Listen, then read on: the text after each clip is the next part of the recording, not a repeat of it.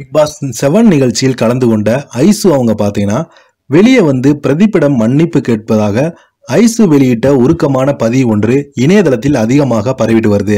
அதில் ஐசு அவங்க பிரதீப்பிடம் என்னென்ன பேசியிருக்காங்கன்னு வாங்க இந்த வீடியோவில் முழுமையாக பார்த்து தெரிஞ்சுக்கலாம். அதுக்கு முன்னாடி நம்ம சேனலை சப்ஸ்கிரைப் பண்ணாதவங்கலாம் சப்ஸ்கிரைப் பண்ணிக்கோங்க. பெல் பட்டன் சிம் அமைக்கி நம்ம சேனலோட நோட்டிஃபிகேஷனை எனபிள் பண்ணிக்கோங்க. அப்போ தான் நாங்கள் போடுற வீடியோ உங்களுக்கு உடனுக்குடனே வந்து சேருவோம் விளையாட்டை எண்ணி அவமானம் பிரதீப்பிடம் மன்னிப்பு கேட்ட பெற்றோர்களை எண்ணி வருத்தம் ஐசு வெளியிட்ட உருக்கமான பதிவு இணையதளத்தில் வைரலாகி வருகிறது. பிக்பாஸ் நிகழ்ச்சியிலிருந்து கடந்த வாரம் வெளியேறிய ஐசு பிக்பாஸுக்கு முன் பதிவை போட்டுள்ளாங்க. ஐசில் வெளியேறிய நிக்சனுக்கு தான் கடுமையான மன உளைச்சலை ஏற்படுத்தியிருக்கிறது. நிகழ்ச்சி ஆரம்பத்திலிருந்து இருவரும் நட்பாக பழகி வந்தாங்க. பின்பு இவர்கள் இருவருமே நெருக்கமாக பழகுவதை பார்த்து பலருமே காதலிக்கிறார்கள் என்று கூறி வந்தாங்க. எங்கு பார்த்தாலும் நிக்சன் ஐஸ் உட்கார்ந்து பேசிக் கொண்டிருக்கிறாங்க. அது மட்டும் இல்லாமல் ஐஸ் தன்னுடைய கையில் எக்ஸ் என என்று நிக்சன் பெயரை எழுதி வைத்துள்ளார். பின் ஐஸ் வரும்போது நெக்ஸ் நிக்சன் பார்த்தீங்கன்னா ஹார்ட் சிம்பலை வரைந்து காண்பிக்கிறார். இதெல்லாம் தாண்டி கடந்த சில தினங்களுக்கு முன்பு நிக்சன் மற்றும் ஐஸ் ஆகிய இருவரும் அமர்ந்து பேசிக் கொண்டிருந்தாங்க. அப்போது நிக்சன் தனது மைக்கை கழட்டி ஐசிவிடம் பேசி கொண்டிருந்தார். அப்போது இருவருமே பேசி கொள்ளும்போது கண்ணாடியில் முத்தம் கொடுத்தாங்க. இந்த வீடியோ பயங்கர சர்ச்சையை கிளப்பியது. பிக் பாஸ் கோர்ட் டாஸ்கில் கூட நிக்சன் இருவரையும் வைத்து வழக்கு தொடர்ந்து வந்தாங்க. அதற்கு மணி உன்னை பற்றியெல்லாம் ஐசு சொன்னதை இங்கு நான் சொல்ல சொன்னா நீ அழுதுருவ தெரியாது என்றெல்லாம் பேசியிருந்தார். மேலும் நேற்று நிகழ்ச்சியிலிருந்து ஐசு வெளியேறிய நிக்சனுக்கு வருத்தத்தை கொடுத்துகிறது. யாருக்கிட்டையும் தலையிடக்கூடாது பேசுனா கூட வெளியில லவ் பண்ணுவாங்கன்னு நினைச்சிடுவாங்கன்னு பயமா இருக்கு. ஒரு பையனும் பொண்ணு பேசுனா லவ்வா? அது லவ் மட்டும் தானா இருக்குமா என்று நிக்சன் அவர்கள் கதறி அழுதாரு. அவங்க வீட்டில் புரிஞ்சுக்கணும். பிக் பாஸ் சொன்னதெல்லாம் சும்மா ஜோக்கு தான். ஐசுக்கு இருக்க திறமைக்கு அவ பெரிய நிலைமைக்கு போவாள் என்று புலம்பியிருந்தார் ஏற்கனவே நிகழ்ச்சியில் ஐசு நிக்சனுடன் நெருக்கமாக பழகியது.